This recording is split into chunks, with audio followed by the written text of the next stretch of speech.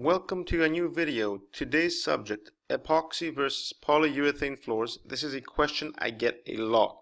What are the differences between epoxies and polyurethane floors? I mean, look at these two pictures here. One has been done with an epoxy floor, one has been done with a polyurethane floor. Do you know which is which? Someone who's experienced, if they go close up, they can probably tell the difference, but most of us cannot tell the difference. And more importantly, why do we select epoxy or why do we select polyurethane? This is the subject of today's presentation. So let's go straight and look at the main reasons why I would select one or the other. Now, very important point before we go on. In this video, I am talking about industrial floor coatings. There's many other applications like rooftops, sport surfaces, metal surfaces we're not doing we're not talking about these today. Today we are simply comparing industrial floor coatings epoxy based and polyurethane based. We are going to look at the basic differences. Another important point because some people need to remember that there's many different types of epoxy many different types of polyurethane floors. Today we're looking at the basic differences to to what we've seen in the industry over the past few years. So we are first going to look at the operational differences. These are differences that are based on how these two types of floors behave when the floor is in operation. So let me give you an example. Epoxy floors tend to be harder than polyurethane floors. It, they have a higher compressive strength and impact strength. So that's one of the reasons why we do prefer epoxies in heavy duty facilities. Here is an example of a warehouse where we have an epoxy floor. It was one of our own projects here completed. So just a few examples. Epoxies are preferred in warehouses. They are preferred in heavy industry, logistics centers, any facility with heavy forklift traffic. Epoxies are much better behaved than polyurethanes in this specific case. Now, another operational difference is, as we said, epoxies are harder. Polyurethane floors are actually softer and elastic. Now this can be a good thing. One, because polyurethane floors are softer, they have a much better resistance to scratching because they kind of absorb the impact rather than just being forced on the on the surface. And because they are elastic, they can also work in low freezing temperatures. Here's an example of a polyurethane floor. We did this for a car park. Uh, we'll talk more about this car park later on, but Polyurethane floors are preferred in car parks for several reasons. And let's just see now where you'd most likely see a polyurethane floor. You would see polyurethane floors in spaces with foot traffic because it's softer, more, more friendly towards pedestrians. You will see them a lot in multi-deck car parks. And why is this? Because the waterproofing layer is elastic. The, the PU layer is elastic.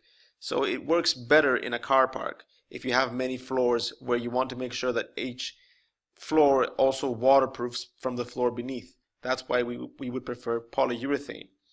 And we also prefer polyurethane floors in freezing chambers because epoxy cannot withstand minus 30 degrees. Polyurethane can, so polyurethane is much more suitable for freezing chambers. Also, we tend to see polyurethane as a top coat, so we put the polyurethane as a thin top coat to, pretend, to prevent scratching. These are the operational differences. Now let's go to, let's just go down the slide a bit. Another difference between polyurethane and epoxy floors is chemical resistance.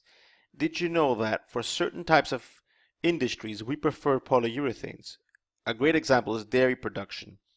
Milk, yogurt, cheese production, they these floors are are exposed to lactic acids and from chemical experiments we see that polyurethane floors are much better resistant much more resistant to lactic acids than epoxies are.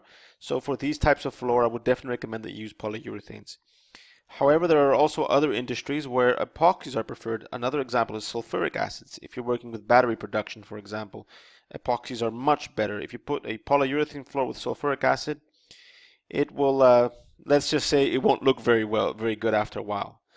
Uh, what we always recommend is check with the manufacturer of a product. If you have a strange chemical that your floor will be exposed to, always make sure that the type of floor you select is suitable. Very important to check for these uh, check the chemical resistance characteristics. And let's go to the application differences. Here we talk about when you actually apply epoxy or you apply polyurethane, what are the differences? Is it exactly the same thing? Well, let me start by saying no, it's not. And just because you are, might be experienced in one type of floor coating, it doesn't mean that everything will work out in the other type. These are different types of floors. Polyurethane floors are more sensitive to moisture. Have a look at this picture here. Look at these little, little bubbles. This is what happens when moisture attacks a PU floor when it hasn't been cured yet. This happened to me I'm not very proud of this. This was a floor which we did in the wintertime. We hadn't realized that moisture, the high amount of moisture in the atmosphere, would actually cause this problem on the floor the next day. Um, this is something that if you do it with epoxies, you will not get. If you do a floor with high moisture epoxy, yes, you may get some discoloration. You won't get the best result.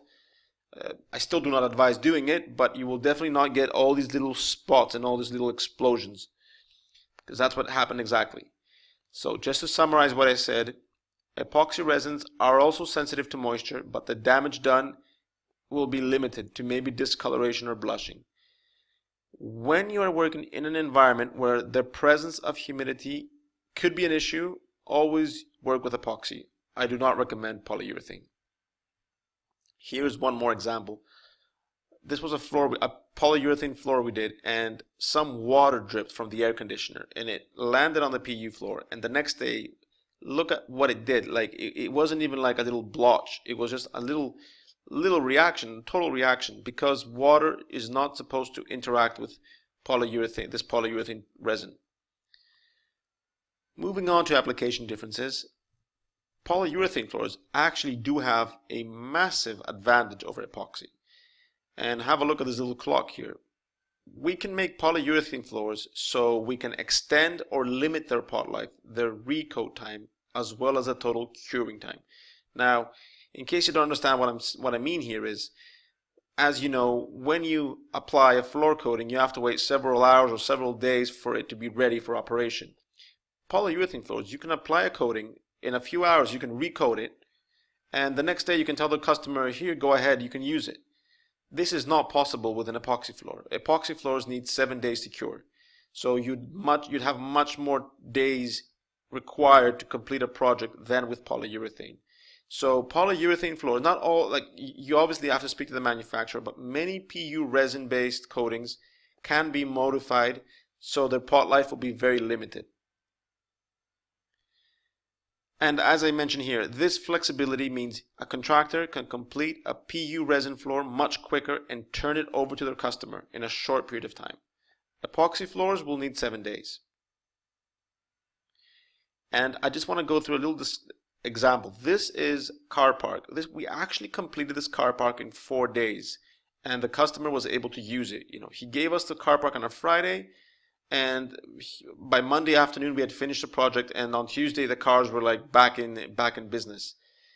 What we did here was we you could not do this with an epoxy floor. There's just not enough time to complete all the stages of priming and applying the first coat, the second coat, filling up the grouting, doing the demarcations and making sure that it's ready for traffic. You cannot do it in 4 days in epoxy with epoxy. You can with polyurethane. Some more pictures here. The completed floor and we even did the demarcations on time. Which, if you think about it, we actually had to wait for the floor to dry and go back and do the lines afterwards. A lot of stuff got done in four days. As a final comment, I just want to say that polyurethanes are harder to work, work with. As I just showed, limited pot life means they also cure very quickly. So it's not as if you have half an hour, 40 minutes to apply a pack. Some, some polyurethanes may be curing in 15 or 20 minutes. So you need to be aware of that.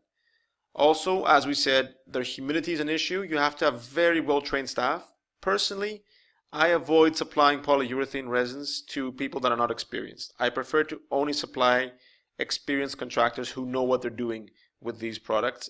Epoxies are a bit more flexible, are a bit more easy to use. That's all for this presentation.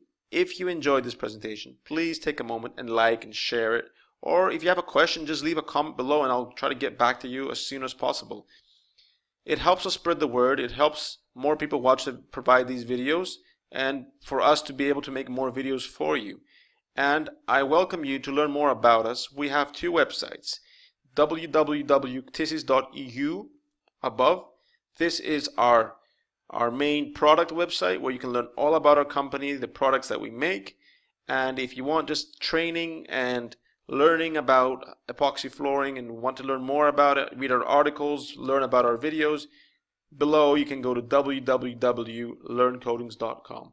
Remember, if you haven't already, to subscribe to this channel so every time we bring out a new video, and we do tend to bring at least one or two per month, remember now to subscribe so you're always aware when we have new videos ready.